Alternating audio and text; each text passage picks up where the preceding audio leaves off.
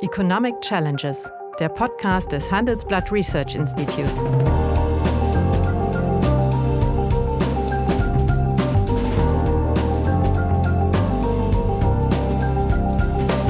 Bert Röhrup, der Chefökonom des Handelsblatts, diskutiert mit Michael Hüter, dem Direktor des Instituts der deutschen Wirtschaft, wöchentlich aktuelle wirtschaftliche Herausforderungen für Deutschland wie für die Weltwirtschaft.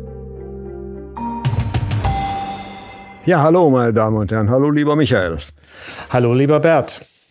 Liz Truss hat in der vergangenen Woche nach 45 Tagen ihr Amt als britische Premierministerin aufgegeben und damit immerhin George Cunning abgelöst, der Anfang des 19. Jahrhunderts immerhin 119 Tage im Amt war. Nun ja, ich würde gerne mit dir über die Gründe ihres Scheiterns reden. Die Vorbilder von Miss Truss waren bekanntlich Edward Heath und Margaret Thatcher, die vor fast 50 Jahren festgestellt hatten, dass äh, Großbritannien in einer Mischung aus Inflation und ja, Stagnation, also in einer Stagflation steckt, einer ähnlichen Situation, die wir jetzt auch haben. Und äh, diesem Problem wollte sie, wie seinerseits Maggie Thatcher, äh, mit Steuersenkungen und kreditfinanzierten Ausgabenprogrammen begegnen. Also das, was man klassischerweise Angebotspolitik nennt oder nach dem Motto Trickle Down. Wenn du willst, dass die Spatzen was zu essen haben, muss man nur die Pferde füttern. So und äh, Deswegen hat sie ein Programm vorgeschlagen, den Spitzensteuersatz äh, deutlich äh, zu senken, äh, dann ähm, die geplante Erhöhung der Körperschaftssteuer abzusetzen, 40 äh, neue Investitionszonen mit niedrigen Steuern und niedrigen Auflagen zu schaffen. Äh, der Spitzensteuersatz wollte gesenkt werden. Das ganze gesamte äh, angebotspolitische Programm. Und was war die Reaktion?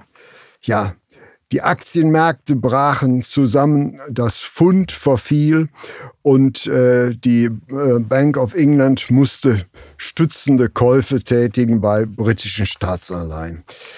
Wie kannst du das erklären? Ist das ein Misstrauen gegen die Person oder ein Misstrauen gegen die Politik? Oder, oder beides?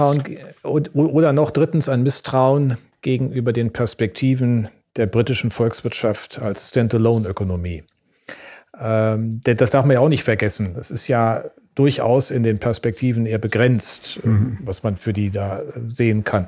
Also erstmal denke ich, ähm, kann man nicht einfach Rezepte der Vergangenheit aus dem Schrank holen und äh, ohne auch Verknüpfung in der eigenen Partei und Hinterlegung in den Diskursen der Fraktion äh, so etwas machen. Das, das wäre ja ein Handwerkszeug, nicht gelernt. Das ist erstmal Handwerkszeug, ja.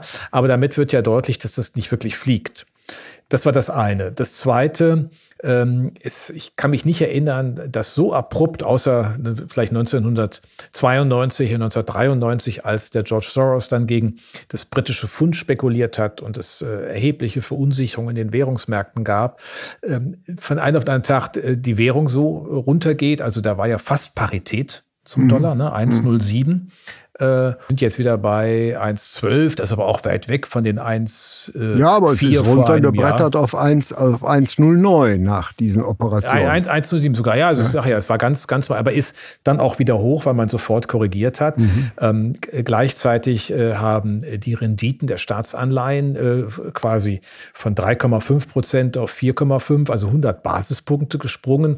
Das zeigt, ich glaube, es ist wirklich ein massives Vertrauensproblem, dass die Politik Politik hat, dass die Handlungsfähigkeit dieser Regierung betrifft, die ja auch keine breite oder zumindest in der in, der, in, den Umfragen erkennbare Unterstützung hat. Ähm, den Johnson hat man irgendwie akzeptiert als ja, lustigen Vogel, der da rumhampelt, äh, einige Dinge gemacht hat, aber hier sind die Dinge aus dem Ruder gelaufen und das ist auch so, so wahrgenommen. Ja, aber, aber noch einmal, äh, ist äh, diese Reaktion der Märkte ein Misstrauen gegen die angebotsseitige Politik, das durch Erleichterung wirtschaftliche Stimulierung zu erzeugen, oder ist es ein Misstrauen gegen die handwerkliche äh, Unfähigkeit äh, der Premierministerin? Das sind ja, kann ja zwei Ursachen haben, warum die Märkte so ja. kann. Und dann kann es vielleicht auch noch eine dritte Ursache geben. Hm. Äh, ist vielleicht nicht das äh, Pfund eine sehr kleine Währung geworden, die sich mhm. solche Experimente gar nicht mehr leisten kann? Gut, nun war sie ja nie viel größer, aber die ja. Frage der Bewertung, das meinte ich ja mit dem dritten Perspektivenansatz äh, der britischen Volkswirtschaft außerhalb der Europäischen Union, ist natürlich eine andere. Und ähm, trotz, sagen wir mal, durchaus günstiger Arbeitslosenquotenentwicklung, aber die Frage, wo das Wirtschaftsmodell hinführt, welche Wachstumsstärke da ist, die stehen ja im Raum. Ich denke, man kann das nicht alleine mit einem Misstrauen äh, der Regierung gegenüber artikulieren, sondern äh, das ist diese Mischung aus handwerklichen Fehlern, das sind eigentlich wirklich, glaube ich, alle drei Gründe und mhm. die werden wir jetzt nicht gewichtet auseinandernehmen können. Aber du kannst, aber alleine äh, das Misstrauen gegen die Regierung hätte die Märkte nicht so ähm, äh, in Schwung gebracht, sondern es muss auch äh, damit stehen, dass das so nicht funktioniert. Also dass der Glaube in einer schwierigen Gesamtlage mit so extremen Fiskalmaßnahmen agieren zu können, dass das funktioniert, ähm, das trägt zu kurz. Ja, mhm. und ich glaube, äh, da liegen dann auch die, die Nerven blank. Das äh, ist ja ohnehin so. Wir haben einen Kurs, den die Notenbanken gehen müssen, die äh, die Zinsen erhöhen. Wir haben letzte Woche über diesen neuen Policy-Mix in der Makropolitik mhm. gesprochen, also restriktiver Geldpolitik. Da haben wir ja eigentlich gesagt, ja, dazu gehört eine durchaus dann expansivere kompensierende Finanzpolitik, aber nicht kopflos. Und mhm. so wirkte es ja, äh, was der da vorgetragen hat. Das schien ja auch sozusagen Mr. Quarteng oder wie dieser Quarteng-Call, mhm. das war dann ja äh, wie vom Himmel gefallen und das funktioniert nicht. Ich meine, wir haben äh, bei, den, bei den Anteil äh, der Zinszahlungen beispielsweise in Großbritannien, die waren bei 1% am äh, National Income, die sind jetzt, äh, gehen perspektivisch hoch auf 4%. Also auch da ist dann eher die Frage äh, mit im Raum, kann man das überhaupt machen? Funktioniert das überhaupt? Also es ist auch ein Misstrauen in der gegebenen Situation dieser Polit einem solchen Politikansatz gegenüber. Also ich würde noch einen, doch noch einen anderen Punkt sehen. Ich mhm. würde sagen, es ist auch ein gewisses Misstrauen Misstrauen gegen das britische Pfund. Es ist mhm. eben nicht mehr die Weltwährung, die es mal vor mhm. langer, langer Zeit war, ja, bis, sagen wir ja, mal, bis ja. nach dem Ersten Weltkrieg. Aber es ist eine, eigentlich eine kleine Regionalwährung äh, geworden.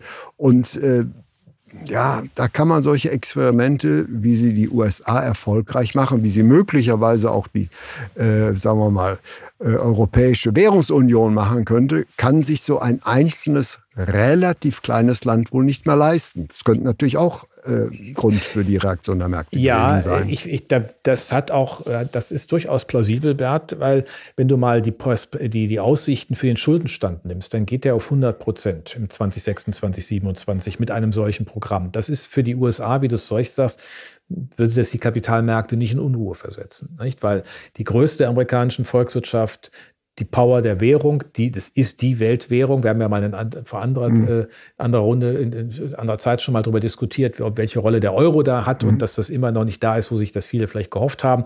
Der Dollar ist die Weltwährung, es wird in Dollar faktoriert. Das britische Pfund ist in der Tat äh, in dieser Rolle deutlich beschränkt. Und äh, insofern ja, ich glaube, das ist ein, ein, überzeugendes Argument zu sagen, das ist dann ein sehr äh, labiler Markt der ohnehin natürlich bei den äh, Dingen, die wir überall an den äh, Anleihemärkten, an den Märkten für Staatsanleihen erleben, dass die Zinsen ähm, steigen, dass die Kurse verfallen.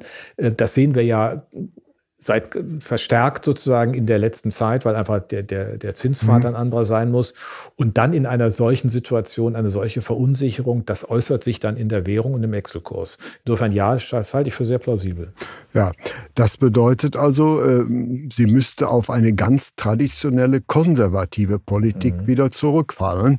Und das würde natürlich, äh, sagen wir mal, äh, die, das, das das Wiederbeleben der Wirtschaft doch deutlich verzögern.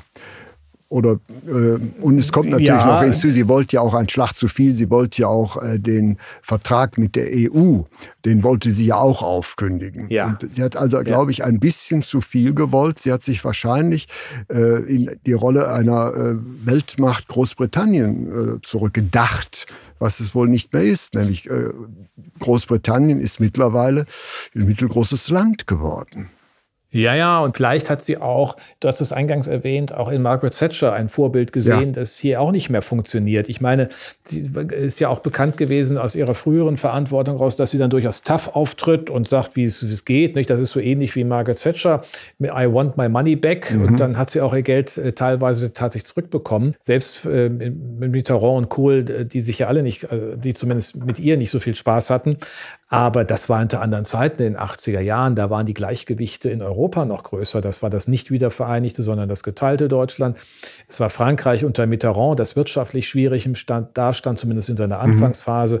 Und sie hatte dann ja das Land saniert. Sie hatte ja was vorzuweisen mhm. und hatte dann mit dieser Kraft auch diese Auftrittsmöglichkeiten und konnte im Grunde eine größere Rolle spielen, als es eigentlich auch damals schon Großbritannien ähm, äh, zuzuordnen war. Und äh, ich glaube, da hat sich Mrs. Truss äh, auf ein äh, falsches Vorbild eingelassen. Das geht nicht mehr. Das trägt nicht ja, mehr. Da muss sie andere Leistungen erbracht haben. Die hat sie aber bisher nicht erbracht. Aber was man natürlich auch davon ableiten kann, ist auch ein ganz interessanter Befund, ist, ob eine Politik funktioniert, hängt nicht nur von der Politik ab, von der Konzeption, von der Komposition, sondern auch davon, wann und von wem sie implementiert wird. Ja. Ja, ich glaube, das ist ein ganz, ganz entscheidender Punkt, weil wir ja vielfach auch als Ökonomen immer in der Gefahr sind, dass wir mit unseren theoretischen äh, Konzeptionen ja. äh, glauben, die seien in Raum und Zeit unabhängig gültig und wirksam. Sie müssten nur gut kommuniziert werden. Natürlich ist das dann auch ein zweiter Teil, aber erst einmal muss es auch in die Zeit passen. Es muss auch eine grundsätzliche Aufnahmebereitschaft geben. Du kannst nicht gegen die Mehrheit ähm, eine Politik machen, die sie nicht versteht, deren tieferen Sinn sie nicht erkennt und wo die Erträge erst Jahre später zu sehen sind. Das ist häufig so.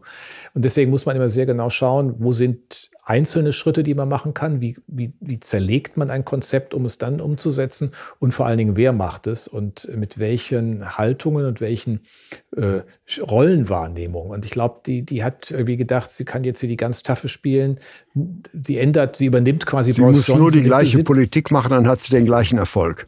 Ja, und also sie nimmt quasi nur die, das Clowneske raus von, von Boris Johnson. Mhm. Und ähm, so einfach ist es dann halt auch nicht. Und äh, das ist, glaube ich, ein wirklich spannender Punkt. Was, was kann Politik wann und wie tun? Man, ist, man kann es ja bei uns auch ein bisschen übertragen. Gelegentlich wird gesagt, naja, der, der Scholz kommuniziert so wenig wie Merkel. Aber es geht halt nicht mehr. Mhm. Merkel konnte es, der mhm. hat man irgendwie am Ende das akzeptiert, dass sie nur begrenzt, gezielt kommuniziert, auch eigentlich nie wirklich erklärt, was sie warum für sinnvoll hält. Und äh, er scheint jetzt langsam zu begreifen, dass er das auch anders tun muss. Also man kann, wenn zwei dasselbe tun, ist es noch nicht dasselbe. Gibt es auch den schönen Spruch oder ist nicht das Gleiche. Ähm, deswegen ähm, glaube ich, muss in jeder Situation auch klug geschaut werden, wie man Politik intoniert, welche Perspektiven man dahinter legt. Und das wirkt im Augenblick zum Beispiel bei uns ja auch alles sehr erratisch. Also die haben ja immer nur alles Glück, dass bei uns die Strukturen stabiler sind. Ja, aber es ist, glaube ich, schon, also der Fall Truss wird meines Erachtens in die Lehrbücher eingehen. Mhm. äh, der besagt nämlich, der Lehrsatz wird sein, Angebotspolitik oder Nachfragepolitik kann man nicht sagen, welches die bessere ist. Es hängt in der Tat über das vom Setup, vom Umfeld mhm. und auch von der Person. Das ist ganz was interessant, ist schon ein interessanter Punkt, weil wir immer meinen, es gibt eine herrschende wirtschaftstheoretische Doktrin, der muss man folgen. Und hier lernen wir, nee, es kommt nicht auf die Doktrin an, es kommt auf die Person an, die sie vertritt und eben auch noch auf die äh, Umstände. Und das ist schon ein ganz interessanter Befund. Naja, und es, der, die Umstände, die müssen natürlich auch eine relativ klare Sprache sprechen. Also ich nehme mal als Margaret Thatcher ähm, 79 Premierministerin wurde, dann war das, schaute das Land auch ziemlich trübe 70er Jahre zurück. Es war im, im Streik äh, festgefangen, es war zum Teil in Händen der Gewerkschaften. Arthur Scargill hieß der, der, ja, der äh, von ihr dann Kopfkürzer gemacht wurde, sozusagen faktisch. Ähm, die Labour Party war in sich zerstritten. Äh, das Land war in keiner guten Verfassung. Also ich kann mich erinnern, als Schüler dann mal 1977 in London gewesen ja, zu sein. Kinderlandverschickung. Und da lagen die Müll. Ja, das war, das war gar nicht so richtig Kinderlandverschickung. Also es gab ja bei uns auch genug zu essen, aber ja, ja. Es, waren, es waren vor Sprach, allen Dingen sprachliche Kinderlandverschickung. Dass die, dass die, dass die, dass die Müllsäcke, also der, die Müllabfuhren streikten. Es war, also das war ja ein, ein, ein wesentliches Kennzeichen so. Und vor dem Hintergrund hatten die Leute den Eindruck, Eindruck, hier muss jetzt mal etwas grundsätzlich anders werden. Und das hat Margaret Thatcher erfüllt. Dann auch, dann hat ihr der Falklandkrieg geholfen, dürfen wir auch nicht vergessen. Mhm. Ne? Das war ja 83, war ja auch so außenpolitische Themen sind ja häufig hilfreich, wenn du innenpolitisch etwas toughere die Dinge machen musst. Und dann hat sie 86 mit dem Big Bang ähm, ähm, ähm, die Londoner City im Grunde äh, freigeschaufelt, mhm. äh, handlungsfähig gemacht, zum Finanzzentrum der Welt gemacht. Und das ist bis heute, trägt das ja, aber es zeigt auch die Kehrseite, nämlich die Kehrseite dieses britischen Modells ist, dass du in den Midlands äh, keine ökonomischen Perspektiven hast, dass es wirklich der Großraum London ist. Wir haben mal fiktiv, machen wir mal aus Jux, mal gerechnet, was denn passieren würde, wenn man den Großraum London aus äh, Großbritannien, aus dem Vereinigten Königreich ja. rausrechnet, dann reduziert sich für alle anderen äh, Briten das Pro-Kopf-Einkommen um über 10 Prozent. Das mhm. ist ja erheblich. Mhm. Und diese Verdichtung ist natürlich Folge dieser Maßnahmen. Sie hat im Grunde, hat Margaret Thatcher eine Deindustrialisierung eingeleitet. Mhm. Sie hat äh, Sie hat auch die, die, die Frage der Konfliktbewältigung im Land äh, in, auf eine Weise gelöst und sagen kann, ist die auch wirklich nachhaltig? Also Gewerkschaften sind weitgehend entmachtet und hat London äh, zum überhitzten Zentrum gemacht. Das heißt, dieses Land lebt als Finanzzentrum und jetzt auch Von noch nach der von der City auch noch nach dem äh, Austritt aus der Europäischen Union. Da hatte ja London quasi die, die, die äh, besondere Funktion mhm. noch auch durch dieses Hinterland. Das wird ja auch eher abnehmen. Also die mhm. Frage ist ja eigentlich, ähm, was für Antworten gibt die Politik auf diese strukturellen Herausforderungen, die Schwierigkeiten auch, die sich mit Nordirland auch durch die Handelsfragen ergeben in der europäischen, in dem, in dem mit Zusammenspiel mit dann der Europäischen Union ähm, und die eigentlichen Lasten aus dem Brexit sind ja noch gar nicht angekommen. Mhm. Also, dass Leute nicht da sind und so weiter. Insofern gibt es eigentlich, das ist ja das Spannende in Großbritannien, durchaus zentrale wirtschaftsstrukturelle Fragen, die eigentlich übergangen wurden. Und wir haben ja auch eine, eine, eine soziale Absicherung, die ja nicht also ich sag mal, das ist bei uns ja alles noch Gold. Ist, ja. ja. Allein der National Health Service ist, äh, da, da sollten ja 300 Pfund, 300 äh, Milliarden Pfund mehr eingespeist werden, die angeblich äh, nach Brüssel gehen. Nichts von hm. dem Geld ist hier umgesteuert mhm. worden und hat, findet dort statt. Es ist ja im Grunde immer noch eine Klassengesellschaft, das darf man ja auch nicht verkennen. Also die Durchlässigkeit in Großbritannien hat ja auch noch erhebliche Grenzen oder erhebliches Potenzial, je nachdem, wie man das beschreiben will. Und in dieser Situation muss man, glaube ich, andere Antworten geben ja. als nur irgendwie ein Mini-Budget Budget äh, und so einen fiskalischen Big Bang, weil du hast gesagt, es geht in die Lehrbücher ein. Ich habe hier so eine Grafik vor mir liegen, Britain Government Bond Deals, ne? 30-jährige, 10-jährige, 2-jährige, allein so ein, so ein Bild, das ist nur drei Tage. Ne? Ja. Und in drei Tagen springt das rauf und runter um 100 Basispunkte. Das muss man schon mal hinkriegen. Also insofern wird dieses, dieses Politik-Event wirklich in die Bücher eingehen, zeigt aber auch, dass man so Politik heute nicht mehr machen kann. Ja, aber äh, ich glaube, es wird noch weitere Folgen haben. Äh, äh, nämlich, äh, ich kann mir nicht vorstellen, dass äh, sie über die volle Distanz gehen wird. Nein. Das kann ich mir eigentlich nicht vorstellen. Nein. Und äh, die Konservativen haben so ganz tolles Reservepersonal nicht. Ich glaube schon, dass da auch ein politischer äh, sagen wir mal, Regimewechsel mit verbunden ist. Aber ob das zwingend für das Land besser sein wird, das weiß ich jedenfalls nicht. Mhm. Nämlich das mhm. Krebsübel ist ja doch letztlich äh, das Ausscheiden äh, aus Europa. Das, äh, ja. Die Konsequenzen, äh, die ploppen ja jetzt immer weiter auf. Könnte es sein, äh, dass äh, diese, ja, dieser, dieser Flop, den sie hier hingelegt hat, nicht nur zu einem äh, perspektivisch zu einem äh, Regierungswechsel führt, sondern auch möglicherweise wieder zu einer Annäherung Großbritanniens an die EU? Das ist ein interessanter Gedanke, den du da hast. Das wäre eine mutige These, ja, mit ja, der wir heute noch ja, vielleicht am Ende uns befassen, ob es nicht zu einer Rückkehr Großbritanniens kommt. Ich meine, man kann ja auch noch die geopolitische Lage mit dazu nehmen. Natürlich kann man sagen, die britische Armee ist die einzige in Europa, die überhaupt einigermaßen einsatzfähig ist und ernst genommen werden kann. Vielleicht die französische noch ein bisschen, aber unsere jedenfalls derzeit so nicht. nicht. Ähm, äh, also auch das ist eine Frage, ob man da nicht die Kräfte bündelt. Aber diese Standalone-Strategie war ja auch immer ein bisschen auf der Grundlage formuliert worden oder, oder gesetzt worden. Nein, wir werden dann mit unserem Special Relationship Partner in den USA, USA. die Dinge vertiefen. Aber die Aber haben sich dort, ja abgewandt. ja, auch Europa. dort ist ja die Frage, äh, was ist eigentlich die Interessenlage der Amerikaner? Die gucken ohnehin Richtung Pazifik. Da, äh, und dann schauen sie, wenn sie nach Europa schauen, würde ich mal sagen, eher auf das dann größere Europa, das eigentlich andere und bessere Potenziale hat als mhm. Äh, Großbritannien, das ja dann auch eine kleine Ökonomie ist. Das muss mhm. man ja auch nochmal beschreiben. Du hast eben gesagt, es ist ein kleines Land währungspolitisch, ja, aber es ist ja auch verglichen mit den Potenzialen, die die Europäische Union hat. Wenn es nicht ganz verkehrt macht, wenn wir hier irgendwie ordentlich über diese Kriegskrise hinauskommen, bekommen, äh, doch eine ganz andere Aussicht mhm. als das, was die Briten bieten. Also insofern ist ja diese Special Relationship auch nur eine historische Reminiszenz, die, die heute nicht unbedingt trägt. Und von daher, in der Tat, was ist eigentlich das Bild mit äh, dieses Great, Greater Britain in, äh, in, in the World? Wie ja. wollen die sich eigentlich positionieren? Und da habe ich, höre ich auch nichts zu. Also man müsste dann fragen, ob auf dem, aus dem Brexit der, der, der, wie würde man das in der Bentry wird, nicht? Der British Entry. Ja.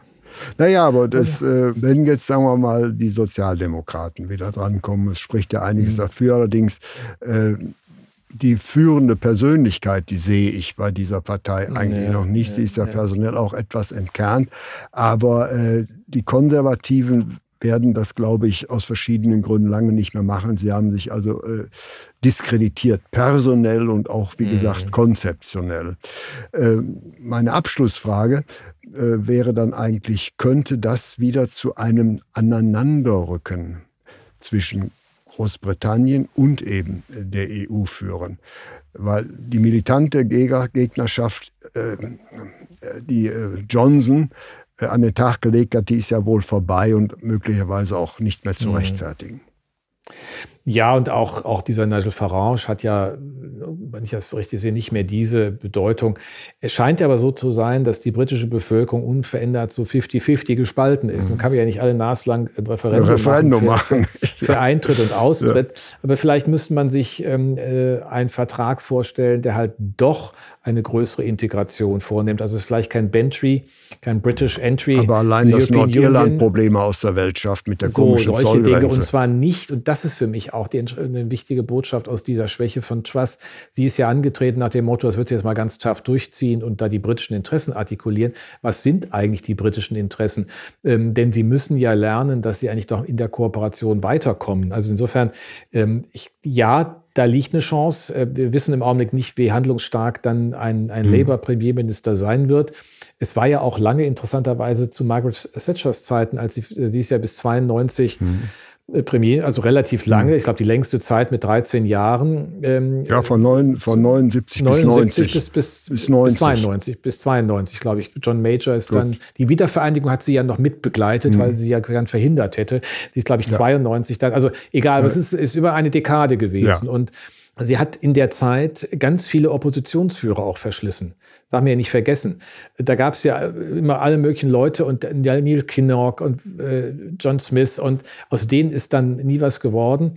Jetzt haben, wir, haben die Konservativen aber gar keine starke Figur mehr. Das wäre zumindest die Chance, wenn sie den Mut hätten, einen herauszustellen, der hier eine pragmatischere Politik zur Besserung der Lage möglich macht, ohne da so extrem äh, Schritte zu machen, wie sie das jetzt versucht hat. Also ich glaube, das Modell ist generell zu Ende und insofern, ja, wäre eine ganz spannende Perspektive. Ne? Ja, aber das wäre doch ganz schön. Das wäre auch ganz schön. Das heißt also, eine schlechte Politik kann auch gute Folgen haben und für mich, äh, ich sehe diese guten Folgen, dass sich perspektivisch wenn es hier einen politischen Regimewechsel gibt, das äh, gegenwärtig mhm. doch erkaltete Verhältnis zwischen äh, der EU und Großbritannien sich wieder ein Stück weit erwärmen ja. würde.